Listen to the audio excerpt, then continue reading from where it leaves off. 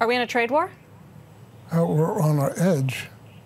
I think it would be very sad if we do because the presumption is that uh, foreigners are ripping us off.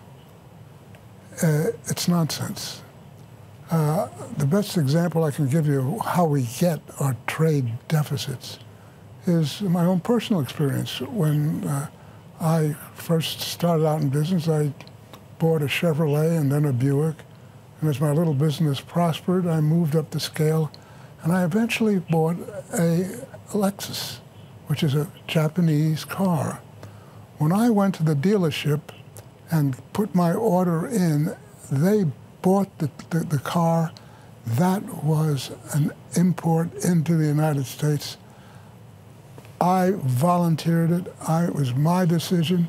They did it for me. I wasn't. I wasn't yes, and we import a lot more than we export. And the question of, uh, you know, the, the whole issue of the trade deficit is being put upside down. It is true that uh, uh, merchandise trade net is uh, close to minus 800 billion, but uh, half of that, or more than half, uh, is offset by services. Of course.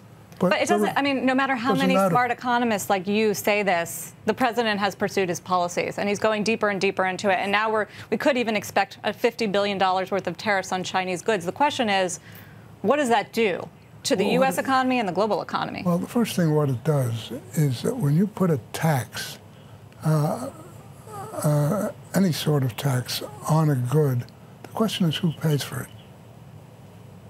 The United States pays for it. Uh, when the tariff is there. But basically, what he is talking about is something quite different.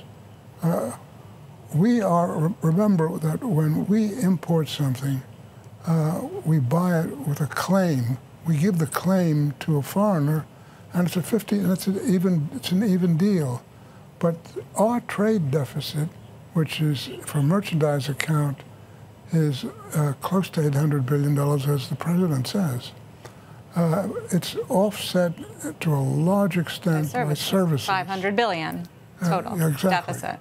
So, I mean, I guess what I'm wondering is we've, we've had this great economic recovery and this burst of growth. The president may even get his 3% number on GDP thanks to lower tax rates and improved confidence and a number of other factors.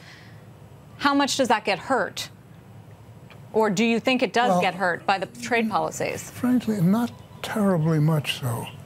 Uh, remember that the issue here is uh, uh, basically uh, uh, what's going on in the world economy and how are we affecting it and what we are doing. Uh, and international trade, like everything else, is double entry bookkeeping. We are exchanging our paper, whether it's dollar bills or treasury notes, for goods and services. It's a zero-sum trade. And so uh, the, the, the, view that uh, uh, it's unfair and somehow is mistaken. And most importantly, it is essentially uh, the, the numbers that we're talking about are initiated largely by American citizens. This is not a ripoff by foreigners. There's nothing. The, the, yeah. He's got the president's got the sign reversed.